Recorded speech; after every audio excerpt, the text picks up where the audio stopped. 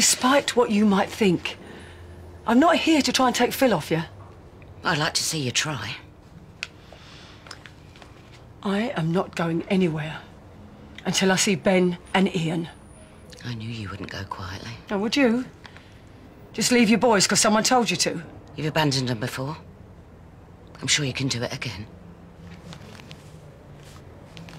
Yeah. I know I don't deserve a second chance. But being back on the square, seeing Ben, I felt sick. I've got a knot in my stomach that just won't go away. And you can't stop me seeing my boys.